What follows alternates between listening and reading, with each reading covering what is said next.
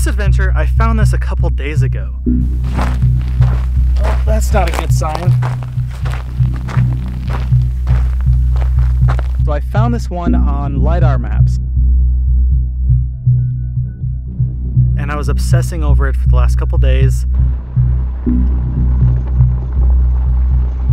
And I just had to see it. Okay, so I just turned this corner. There it is in the background. That's the top of it, whatever it is. This thing is about 180 feet deep.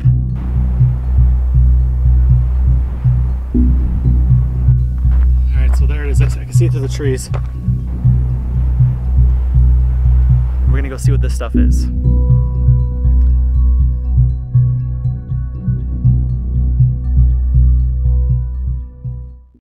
Welcome to this adventure. My name is Jeff at the Trek Planner. Happy to see you again. So glad you're here.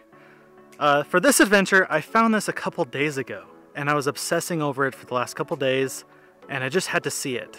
So here I am, ready to go and see what this thing is.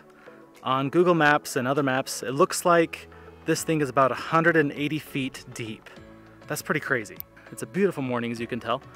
Uh, it's still not 115 degrees, it's still only 90 degrees, so that's a bonus about doing stuff earlier in the day. Um, but I'm very prepared and I'm excited to see what this thing is. So let's get going. Oh, that's not a good sign.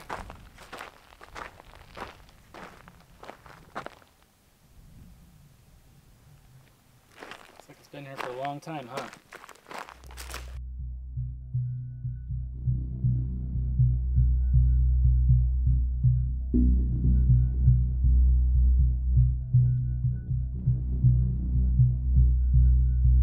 This journey brought me once again to a quiet mesa of pinyon pine and juniper trees.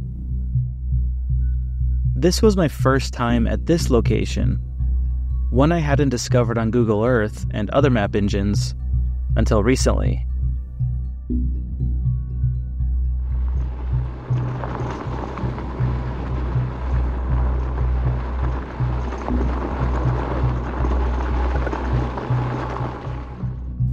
Okay, so I just turned this corner.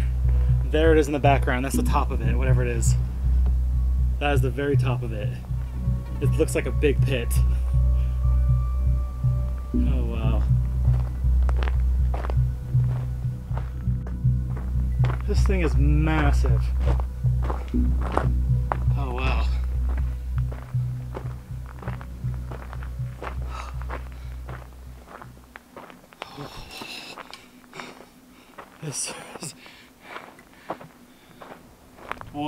There's the bottom. Wow. That is crazy. How do you get down there?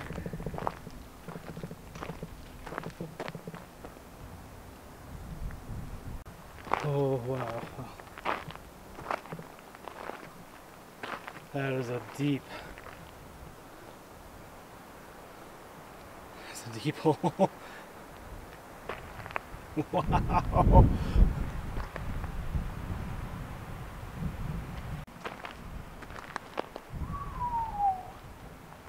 That is pretty deep. Look at these massive layers though. Like those are big bands of stone and layers.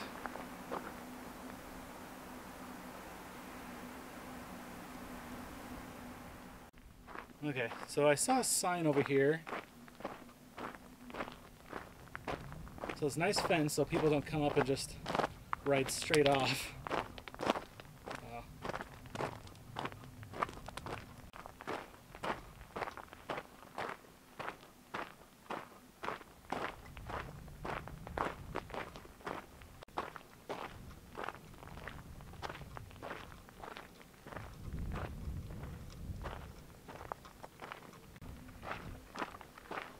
Do I dare walk out there?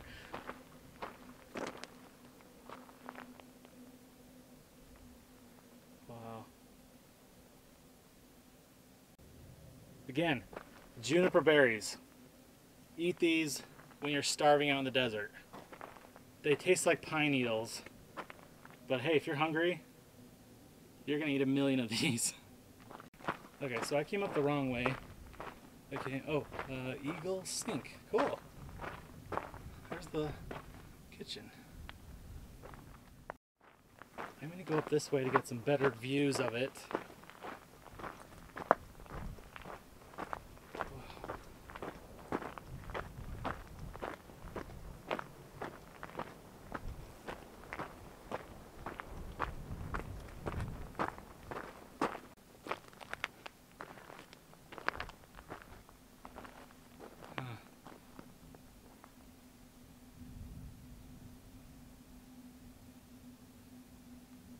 I'm gonna be looking at the ground.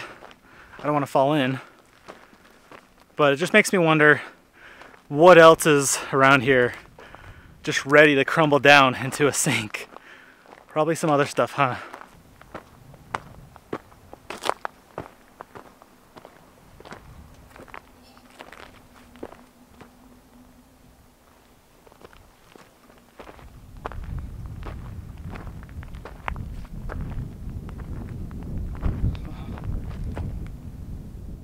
This place is eerily quiet. Even though I've seen birds, there's no sounds, just the wind. Yeah, it's kind of creepy out here. Whoa. I wonder if anybody's rappelled down in here. I bet they have.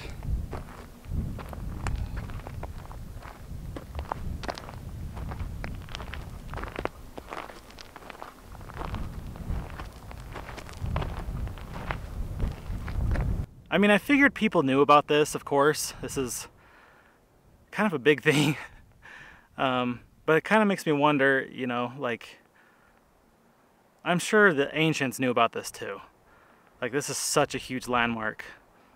Um, but I wonder what they thought about this place. I'm gonna get the drone out so we can get some cool pictures and videos above it.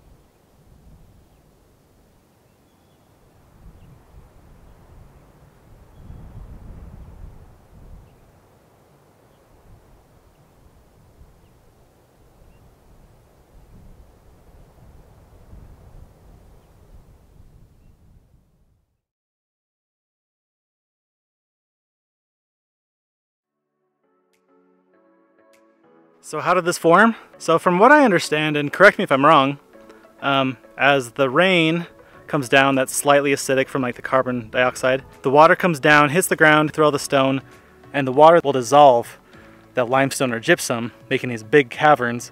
And the top of those caverns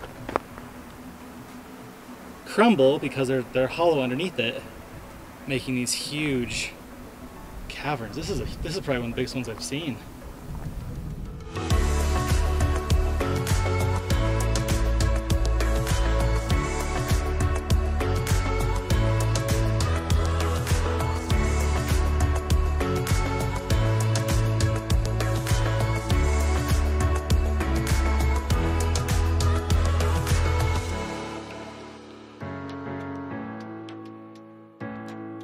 This was a really fun, unique adventure. And even though it's a it's a well-known established place, it was new to us. It was definitely new to me. I had no idea about it until a couple days ago. And uh, now we know what it is. It's a really big sinkhole. And that's kind of the nature of Google Earth exploration, is that we don't really know what's out there until we are out there. Um, but I'm thankful that you joined me on this adventure I hope you're able to get out on your own treks and do some exploring. Thank you for your comments. It just means the world to me that you have helped me make this channel what it is. So thank you so much. See you on the next adventure. Keep on trekking.